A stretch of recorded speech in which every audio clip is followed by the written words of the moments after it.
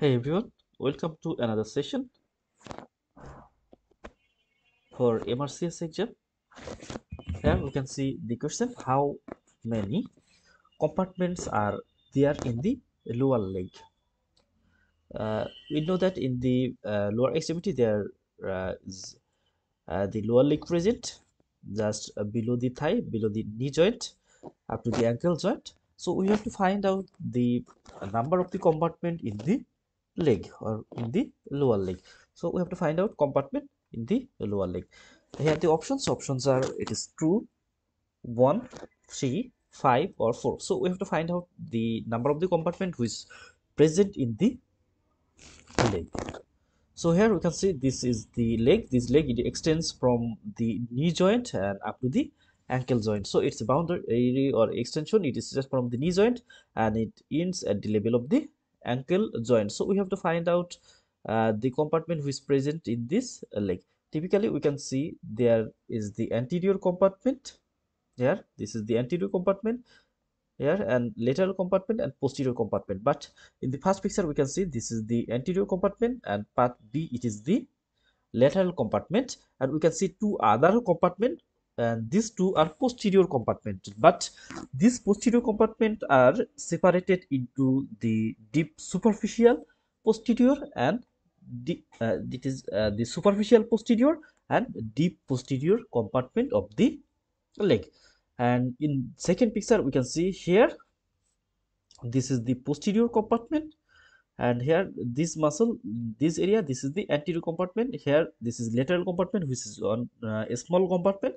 And we can see the superficial posterior compartment here and deep posterior compartment here. So then this is the shin. That means this is the anterior side of the leg. So here we can see the different compartment of the, the leg and their muscle.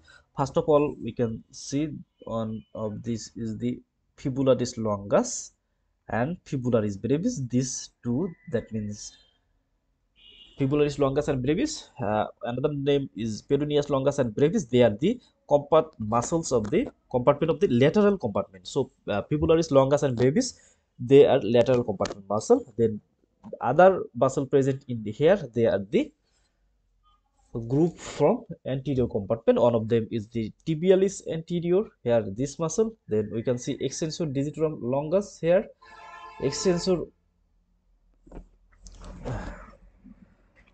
extensor hallucis longus. Then fibularis tertius.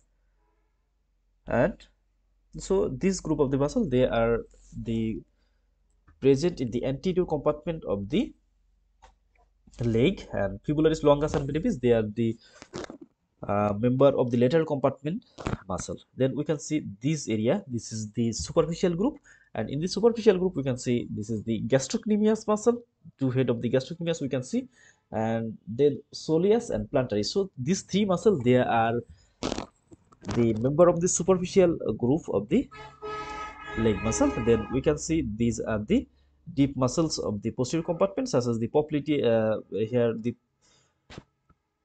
flexor digitorum longus flexor hallucis longus. These are the the posterior group of the muscle. So our final answer it is the four. There are four compartment in the lower leg. Typically we can think it is uh, three compartment anterior lateral and posterior. But the posterior also divided into two parts superficial and deep. For this the finally there are the four compartment in the lower leg thank you all